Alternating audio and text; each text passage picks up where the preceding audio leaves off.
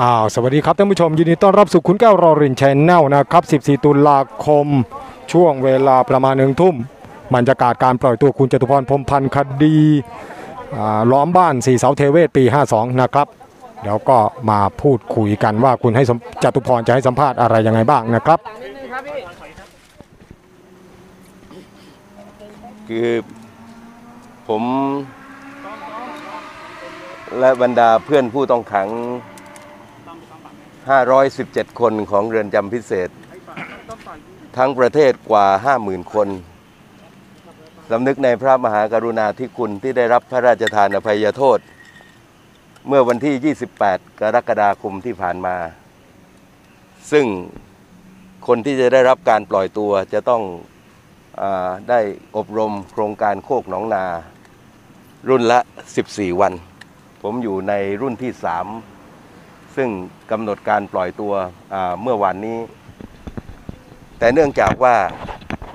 เมื่อวานนี้ไม่ได้รับการประกันตัวจากศาลอาญาในคดีบ้านสีเสาเทเวศ ผมเรียนนะครับว่ากว่า 14 ปี ที่พวกเราถูกดำเนินคดีจากการต่อสู้ทางการเมืองกันมานั้น เป็นที่ทราบกันโดยพฤตินัย ของแกนนำทุกคนกับศาลอาญาว่า ในระหว่างที่มีการถูกคุมขังในคดีใดก็ตาม สามารถไปถอนประกันในคดีอื่นๆ เพื่อหักวันจำขังได้ และเมื่อใกล้วันพ้นโทษ สามารถไปยื่นถอนประกัน ตลอดระยะเวลา 14 ปีมานี้ศาลอนุญาตทุกครั้ง ไม่เคยจะไม่อนุญาตแม้แต่เพียงครั้งเดียว เพราะฉะนั้นผมเองเนี่ยนะครับก็ถอนการประกัน ในคดีบ้านสี่เสาเทเวศ เป็นครั้งที่สามแล้ว ผมเรียนว่าเหตุผลที่ให้เมื่อวานนี้เรื่องอัตราโทษสูงเกรงว่าจะหลบหนี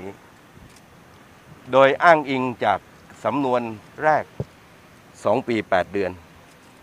เพื่อจะได้เข้าใจตรงกันว่า ผมเองได้ติดคุกสะสม ในคดีนี้มาสามครั้ง รวมทั้งสิ้นเกือบ 14 เดือน เพราะฉะนั้นเนี่ยนะครับ ในระเบียบของทางราชทัณฑ์ฉบับที่ใช้อยู่ในปัจจุบันนี้ การพักโทษนะครับจำคุกมาหนึ่งในสาม และเป็นนักโทษชั้นกลาง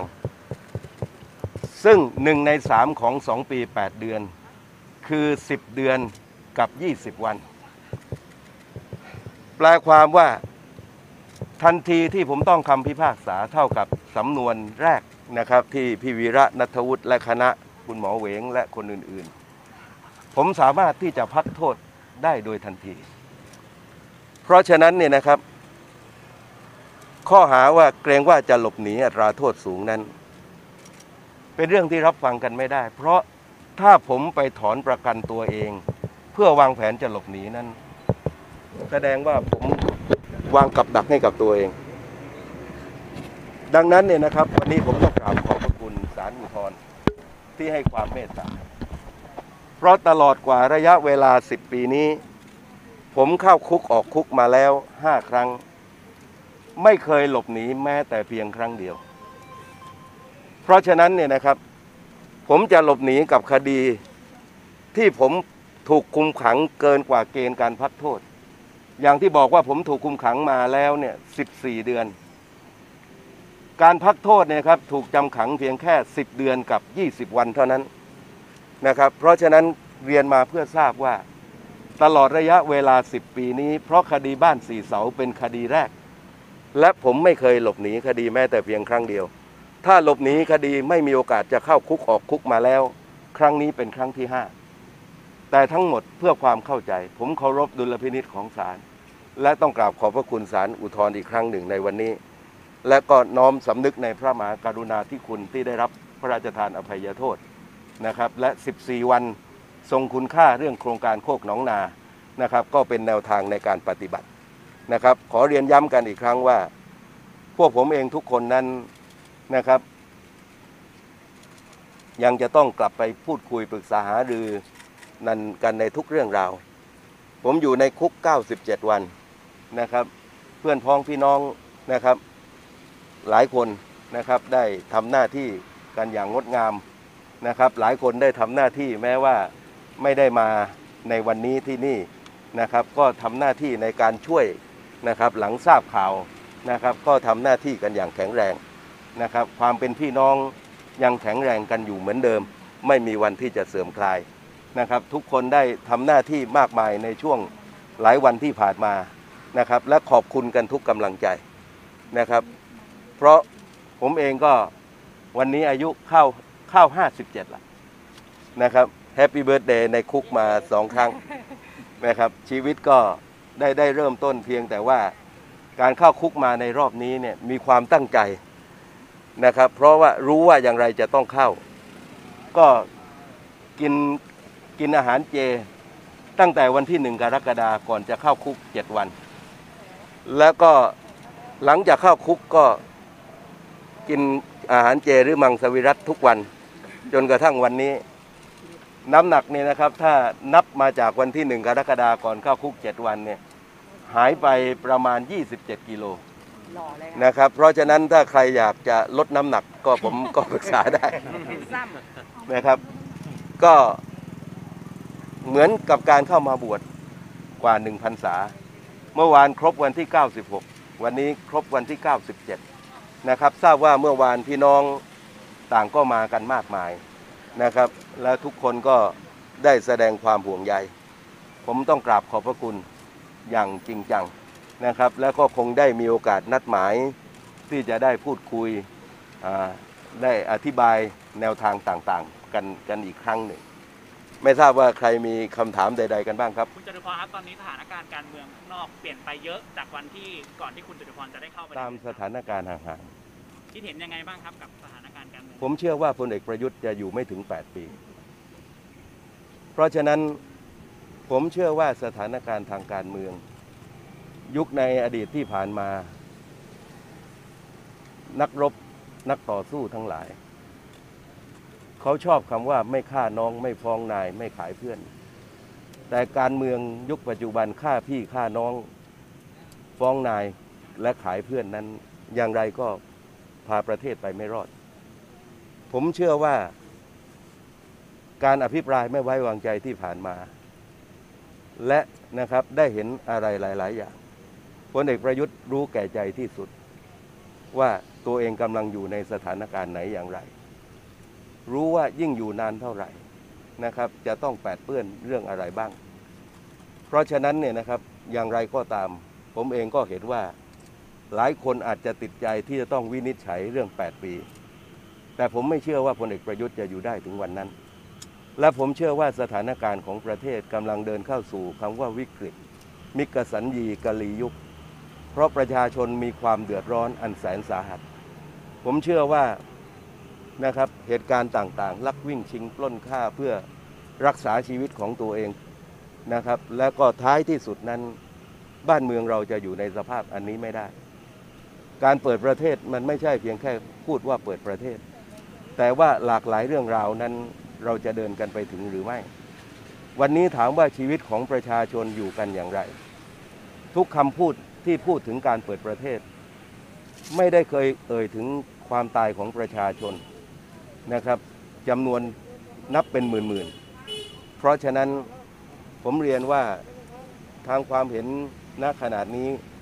เห็นว่าทางการเมืองกำลังเดินเข้าสู่ทางตัน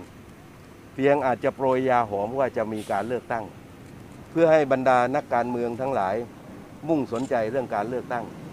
ไม่ได้สนใจปัญหาความเดือดร้อนของราษฎรอย่างแท้จริง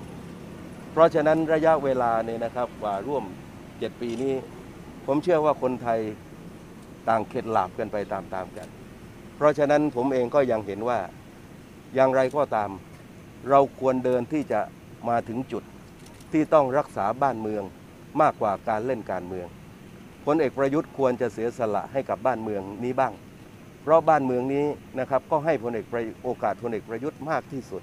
อย่างที่ใครไม่เคยได้รับมาในประวัติศาสตร์ทางการเมือง เทียบพลเอกประยุทธ์กับพลเอกเปรม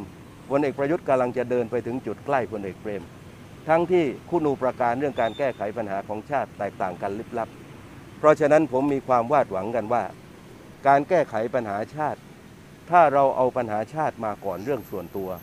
และทุกคนต่างร่วมในการเสียสละ เราก็สามารถนำพาและรักษาชาติบ้านเมืองเอาไว้กันได้ ผมเชื่อว่าอีกไม่กี่วันผมคงจะได้ตามทันในสถานการณ์ คงได้พูดคุยกับบรรดาหมู่มิตรนะครับที่อยู่ที่นี่รวมกระทั่งไม่ได้อยู่ที่นี่ก็ตาม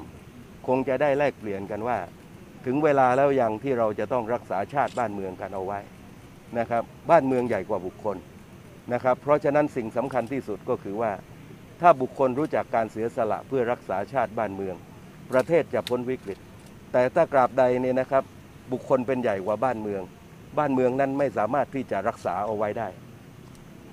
ด้านในมีแกนนำราษฎรที่ถูกคุมขังในเรือนจำพิเศษด้วยคุณจตุพรมีโอกาสได้พบได้คุยอะไรบ้างไหมครับคือได้พบกันบ้างสั้นๆ นะครับ เพราะว่าผมอยู่ในในอาคารที่เขาใช้ในการกักโรค ในตลอดระยะเวลา 97 วันเนี่ยผมไม่เจอแสงแดดเลยนะคำว่าผมเข้าใจคำว่าอ่าอ่าหิวแสงเป็นอย่างไร เพราะว่าไม่เคยเจอแดดมา 97 วัน ได้เจอเป็นบางคน บางคนไม่ได้เจอก็ฝากความระลึกถึงนะครับ ผมเจอ บ้างเวลาที่เขามารักษาตัวที่อาคารพยาบาล เพียงแต่ได้ทักทายสารทุกสุขดิบนะครับ และก็ได้ฝากความห่วงใย ให้ดูแลสุขภาพ และให้มีจิตใจที่เข้มแข็ง และก็รอวันที่จะได้รับอิสรภาพนะครับ เพราะว่าผมเข้าใจถึงคำว่าอิสรภาพ เพราะการเข้าคุกออกคุกมาห้าครั้งนะครับ แล้วก็สู้กันตั้งแต่วัยหนุ่มสาวมาไม่ได้แตกต่างกัน นะครับ ก็ให้กำลังใจซึ่งกันและกัน และทุกครั้งถ้ามีใครมีโอกาสไปเจอ ผมก็จะฝากความระลึกถึง แล้วเขาก็จะฝากความระลึกถึงมายังผมนะครับสำหรับคนที่ไม่ได้เจอกัน ถ้าเจอก็ได้มีโอกาสพูดคุยแลกเปลี่ยน ถึงความห่วงใยในชาติบ้านเมืองงั้นหลังจากนี้จะมีการเคลื่อนไหวเพื่อจะขับไล่พลเอกประยุทธ์ต่อ คือผมเองคงจะได้มีโอกาสไปพูดคุย แลกเปลี่ยนกับคนในสังคม ผมว่าปัญหาณขนาดนี้เนี่ย เป็นเรื่องของคนไทยทุกคน เพราะผมเชื่อว่าเราจะปล่อยให้ใครบุคคลใดบุคคลหนึ่งนะครับ สร้างความเสียหายให้กับชาติบ้านเมืองไม่ได้ คนไทยทุกคนต้องมีหน้าที่รักษาชาติบ้านเมือง เพราะฉะนั้นณขนาดนี้หนึ่งผมต้องคุยกับบรรดาหมู่มิตรนะครับ ในทุกภาคฝ่ายนะครับว่าเราจะทำอย่างไรกันดีในสถานการณ์ของบ้านเมืองที่ยากลำบากในขณะนี้ ผมรู้พี่น้องประชาชน นะครับมีความเหนื่อยยากในการต่อสู้ที่ผ่านมานะครับ เพราะฉะนั้นในช่วงเวลาถัดจากนี้ไป ผมคงจะได้มีโอกาสไปพูดคุยแลกเปลี่ยนกับบรรดาหมู่มิตรนะครับ เพื่อให้เท่าทันสถานการณ์ และก็จะประเมินกันว่าเราควรจะทำอย่างไรกันต่อไป นี่ก็คือระบอบประชาธิปไตย คือการเปิดหูมากกว่าเปิดปากนะครับ ที่จะรับฟังนะครับในความทุกข์ของประชาชน ความทุกข์ของประเทศชาติ และร่วมในการหาทางออกด้วยกัน ซึ่งถ้าวันใดที่พร้อมผมก็จะแถลงอ่าจุดยืนทางการเมืองกันอีกครั้ง ว่าเราจะดำเนินการอย่างไรถัดจากนี้ไป ด้านสุขภาพเป็นยังไงบ้างคะก็ตัวเบาไปเยอะนะครับ เพราะว่าครั้งแรกก็เอาความตั้งใจกินมังสวิรัตนะครับก็ ก็ไม่คิดว่าจะต้องนานกันมาถึงทั้งก่อนและหลังรวมประมาณร้อยกับสี่วัน ติดคุกเก้าเก้าสิบเจ็ดวัน แต่กินกันมาก่อนจากนี้เจ็ดวัน ก็มีความแข็งแรงนะครับ ไม่มีโรคเจ็บไข้ได้ป่วย พยายามรักษาสุขภาพ รักษาจิตใจ รักษาหัวใจ รอวันอิสรภาพที่จะมาทำหน้าที่ร่วมเคียงข้างกับประชาชนต่อไป และคิดว่ากลุ่มไทยไม่ทนพร้อมที่จะเริ่มกิจกรรมแรกได้เมื่อไหร่คะ คงจะได้มีการพูดคุยแลกเปลี่ยนถึงสถานการณ์ การไปอยู่ในเรือนจำเกือบร้อยวันนี้เนี่ยนะครับมีหลายอย่างที่ผมยังไม่ทันต่อสถานการณ์ ผมต้องให้บรรดาหมู่มิตรที่เขาอยู่ในสถานการณ์ได้มาประเมินสถานการณ์รับฟังแล้วค่อยตัดสินใจ รวมการรับฟังจากหมู่มิตรอีกหลายวงการนะครับให้มากที่สุด ผมเชื่อว่าวันนี้ถ้าเราเปิดหัวใจให้กว้าง แม้กระทั่งตัวพลเอกประยุทธ์เองก็ตาม ในฐานะที่เป็นคนไทยเนี่ยว่าทำอย่างไรเอาชาติให้รอด อย่าคิดเอาตัวให้รอดนะครับ เพราะว่าใครก็ตามที่คิดเอาตัวรอด ไม่คิดเอาชาติรอดอะอย่างไรมันก็อยู่ไม่ได้ มีแต่ตัวแต่แต่ว่าไม่มีชาติบ้านเมือง อย่างไรก็จะอยู่ไม่ได้นะครับ เพราะฉะนั้นผมเองก็เห็นว่าเราก็คงที่จะต้องมีการพูดคุยแลกเปลี่ยนผมเชื่อว่าหลักการที่ เราได้พูดคุยเสนอกันเอาไว้นั้น ไม่มีเรื่องใด ๆ เป็นการส่วนตัว แต่เป็นเรื่องของการจะนำพารักษาชาติบ้านเมืองเอาไว้ ผมเชื่อว่าถ้าเราคิดเรื่องชาติเป็นหลัก เอาชาติเป็นเรื่องใหญ่ เอาเรื่องส่วนตัวให้เป็นเรื่องเล็กเรื่องเป็นเรื่องรอง เราก็จะนำพาประเทศ รอดพ้นจากสถานการณ์อันเลวร้ายนี้ได้ เพียงแต่ว่าจะต้องเปิดใจให้กว้าง ยิ่งใจคับแคบเพียงมองความเห็นต่างเป็นศัตรูกันแล้ว ในบ้านเมืองสภาพที่วิกฤตแบบนี้ เป็นเรื่องความยากลำบากในการจะรักษาชาติเอาไว้